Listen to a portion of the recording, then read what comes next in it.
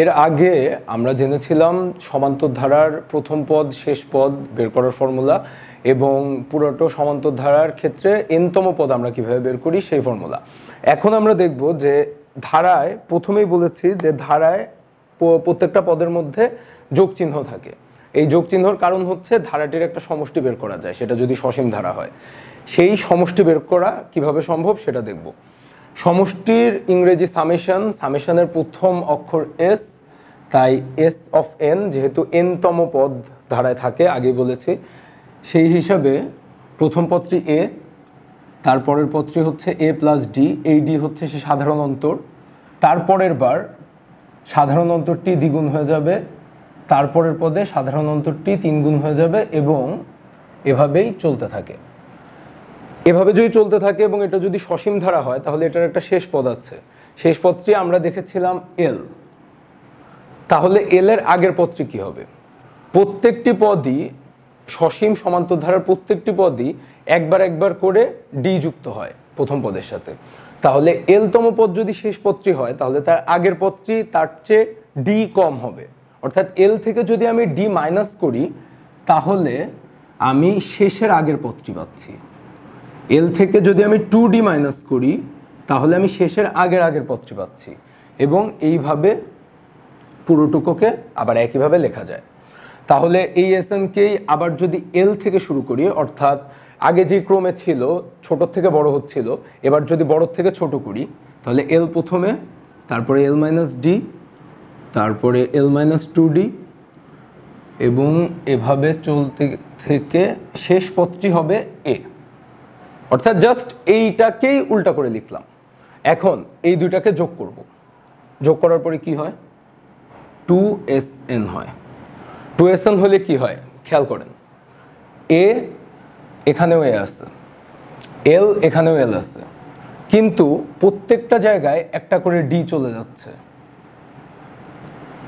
এখানে minus D এখানে plus D এখানে মাইনাস টু ডি এখানে প্লাস টু ডি অর্থাৎ প্রত্যেকটা তম ডি এর জন্য যেখানে এন ডি আছে, সেখানে মাইনাস এন ডি আছে। যেখানে ধরে নেন যে ফাইভ হান্ড্রেড ডি আছে, সেখানে মাইনাস ফাইভ হান্ড্রেড ডিও আছে। তাই প্রত্যেকটা ডি চলে যাবে। প্রত্যেকটা ডি কাট অফ হয়ে যাবে। প্রত্যেকটা ডি আর থাকবে না। তখন থাকবে শুধুমাত্র প্রথম পদগুলো আর শেষ পদগুলো। অর্থাৎ এই দুটাকে যোগ করলে ধারার প্রত্যেকটি পদ হবে এ প্লাস এল এ প্লাস এল এবং এ প্লাস এল যতগুলো পদ ছিল, প্রত্যেকটি পদ হবে এ প্লাস এল এটা দিয়েই আমরা মেইনলি এই সূত্রটি বের করব। তাহলে আমরা সূত্রটিকে আর একটু সহজ করে কীভাবে লিখতে পারি? যে পর্যন্ত ছিলাম টু এস এন ওই দুটি যোগফল যোগ করে এ প্লাস এল অনেকগুলো এ প্লাস এল চলতে থাকবে।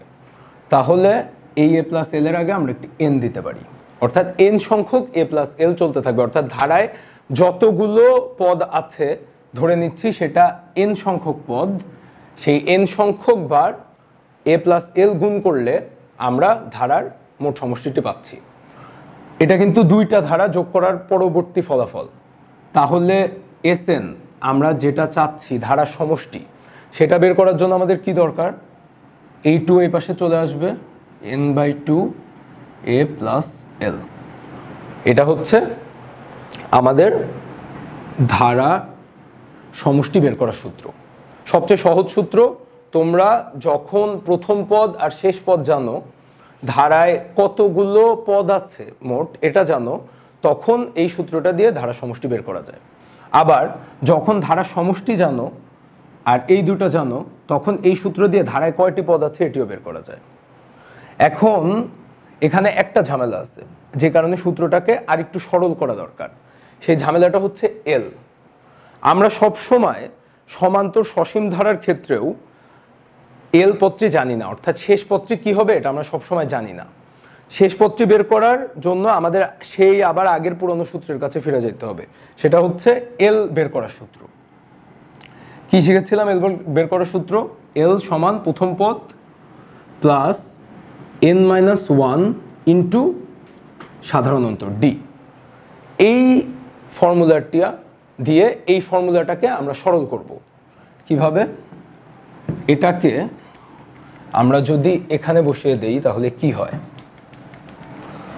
আমরা পেয়েছি ধারার সমষ্টির formula n by two a plus l এটার সাথে এন বাই টু থাকছে এ এর জায়গায় এল এর জায়গায় এটা বসে যাবে। অর্থাৎ আমাদের সেকেন্ড ব্র্যাকেট দিতে হবে। তারপরে আবার a plus n minus one into d second bracket close এই হচ্ছে আমাদের এখন সূত্রের অবস্থা। এটাকে আরও সরল করি। By two into two a plus n minus one into d আগে সূত্রটা মুছে ফেলছি। আচ্ছা এরপরে কি হয়? এখান থেকে আর সরল করার একটাই জায়গা আছে, সেটা হচ্ছে এই টু দিয়ে যদি আমরা এই টু কাটি, কিন্তু সেই টু কাটতে পারব না, কারণ মাঝখানে প্লাস যদি গুণ থাকতো, তাহলে হয়তো কাটতে পারতাম। তার মানে এটা হচ্ছে সবচেয়ে সরল রূপ। এর চেয়ে সরল রূপ আর হয় না। এখন আমরা যেটা পেলাম, সেটা হচ্ছে আগের সূত্রটার জন্য, আগের সূত্রের সাথে এটা সূত্র যদি তুলনা করি, তাহলে দেখো n by two into a plus l. আগের সূত্রটার জন্য আমাদের তিনটা জিনিস জানা লাগতো। একটা হচ্ছে এন এন মান, অর্থাৎ মোট ধারাটিতে কয়টি পদ আছে? প্রথম পদটি এবং শেষ পদটি। এবার আমাদের শেষ পদটি আর জানা লাগছে না। আমরা একটা ভ্যারিয়েবল একটা চলক কম ব্যবহার করেই আমরা এই একটা ধারার সমষ্টি কত এটা বের করে ফেলতে পারি। এন আর এ আমাদের জাস্ট এটা জানা লাগছে। আর যে কোনো ধারার ক্ষেত্রে সাধারণ অন্তর বের করাটা অনেক সহজ এবং তোমাদেরকে আগেও বলেছি যে যে কোনো ধারা দেখলেই সেখানে এই প্যাটার্নটি খোঁজার চেষ্টা করবে যে ওইখানে কত ডিফারেন্সে পরের পথটি আসছে, অর্থাৎ সাধারণ অন্তরটি কত। সো এর মাধ্যমে আমরা যে কোনো ধারার যে কোনো সমান্তর সসীম ধারার সমষ্টি বের করতে পারি।